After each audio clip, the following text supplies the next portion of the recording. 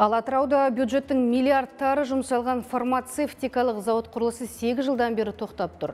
Жоба басталар шақта өңірді басқарған әкім Бақтықожа Ізмұхамбетов бұл Орта Азиядағы ең ірі зауыт болады деп жарияға жар салған еді. Қазір кәсіпорыннан еш пайда жоқ. Сақалды ғимаратты іске қосуға инвесторлар да қызықпай отыр. Әрпесім қымбат Дайырғызы толығырақ айтып берсін.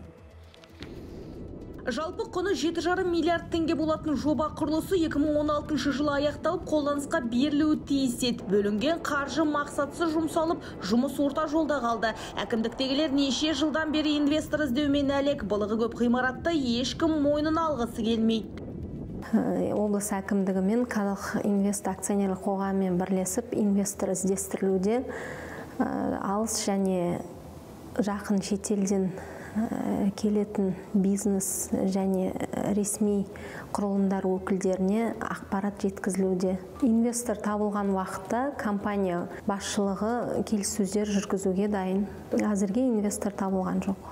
Әу баста көл көсір пайда болады деген зауытқа атырау әлеуметтік корпорациясы да қолдау білдірген. Жобаның 30 пайызын қаржыландырған болатын. Шикіліктің барын біліп кейін ақшасын сот арқылы өндіріп алып енді жоламаймыз деп отыр.